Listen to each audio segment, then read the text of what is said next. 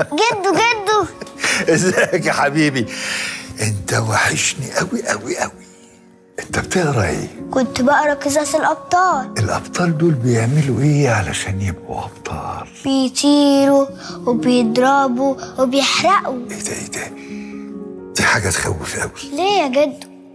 عشان الأبطال اللي بجد أمان للناس. الأبطال اللي بجد ما بيطروش بيبقوا واقفين ثابتين على الأرض. هما الابطال دولت ليهم حدوته برضو والحواديت شايف النتيجة دي؟ عارف التاريخ ده؟ 25 يناير. حكاية الأبطال الحقيقيين اللي وقفوا جنب بعض ومسكوا أيدين بعض. فبقوا سد منيع محدش يقدر يعديه ولا يجده. زمان يوم 25 يناير سنة 1952 في محافظة الإسماعيلية وكان المحتل سايق في جبروته يعني وشأن اترك الأطفال! يعني وشأن هنا اترك الأطفال! اتركونا تفضل أنت! ماذا تريد؟ ألست تاجر المؤونة؟ لما لم ترسل مؤونة المعسكر؟ إنني لا أطعم المحتل وإن قضيت العمر خلف أسوار السجون. أصمت! وأنت هناك. كيف تعلمين تلاميذك تلك الأغاني المغرضة؟ إنا نغني للوطن نولد نغني للوطن ونموت ونحن نغني للوطن. يا حسام. نعم أستاذتي. فلتغني ما تعلمت اليوم. أنا المصري. كريم العنصرين بنيت المجد بين الهرمين. جدودي أنشأوا العلم العجيب. ومجرى النيل في الوادي الخصيب. صمتا! أوقف الصغيرة هناك احضرها هنا. أين تذهبين؟ دعني وشأن. دعني وشأن. دعها تذهب يا خواجة. أبي مريض. كنت أشتري له الدواء. كأذبة. صدقها. إني أداوي أباه وقد طلبت منها الدواء. تكذبين. اتركها. أليس في قلبك رحمة؟ والدواء في هذه الزجاجة؟ أجل دواء. دعها تمر. دواء. إذا فلتشربيه اشربيه. فاطمة! فاطمة!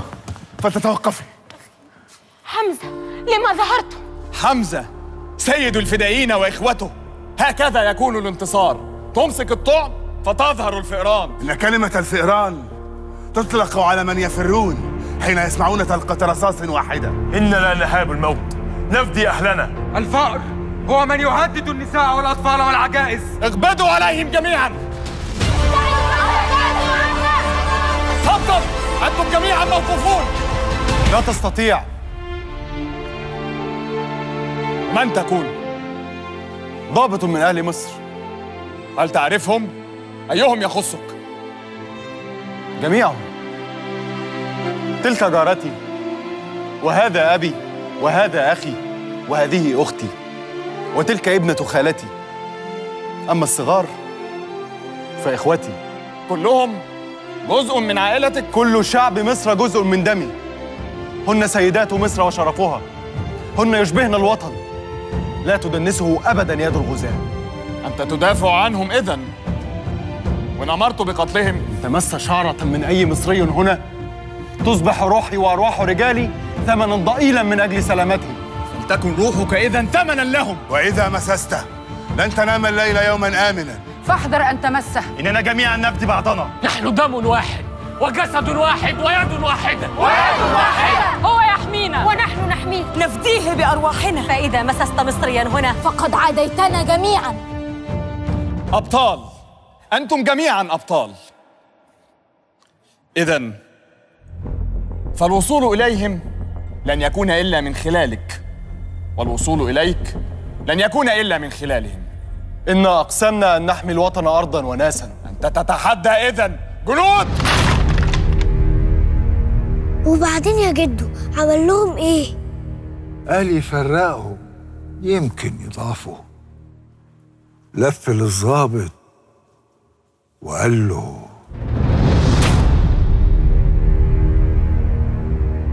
سأمنحك فرصة أخيرة. اصعد أنت ورجالك إلى هذا المبنى. وانزع قطعة القماش أعلاه ثم اسحب رجالك إلى محطة القطار ولترحلوا إلى القاهرة. لا ترحل. إن تركتنا قتلوا الرجال بل سيقتلنا جميعا. أنتظر ردك. فرصتك الأخيرة للحياة أنت ورجالك. في رفضت دمرنا المدينة بأكملها. وإن قبلت الرحيل أصبحوا جميعا في أمان.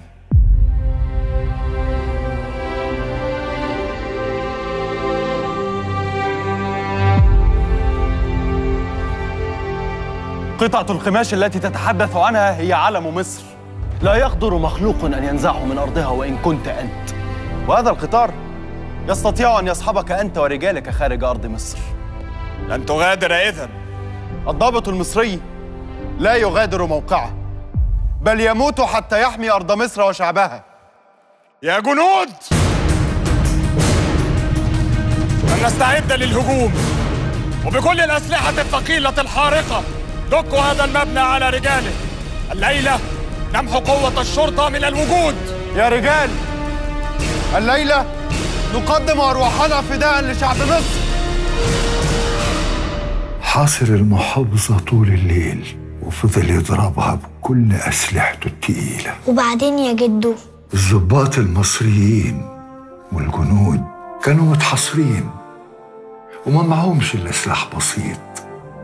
ومع ذلك قدروا يصيبوا عشرات من جنود جيش الاحتلال.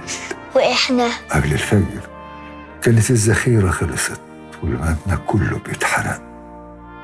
وخرج البطل وبقية الجنود من المبنى. وقتلهم المحتل؟ بالعكس زاد احترامه للبطل المصري اللي صمد بسلاحه البسيط قدام سلاح أقوى الجيوش علشان يدافع عن ناسه وأهله.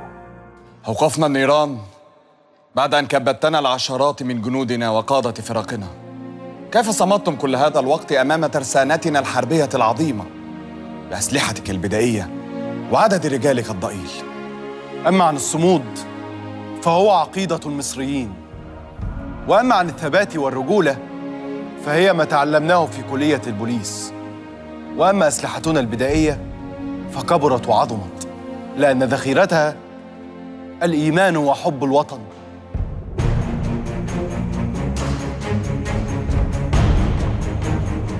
أجبتني على جميع الأسئلة إلا واحدا. عدد رجالك. كل شعب مصر رجالا ونساء وأطفالا هم رجالي. لم تكن تواجهني وحدي. بل كنت تواجه شعب مصر العظيم. جنود! سيدي! فلنؤدي التحية لمن استحقها.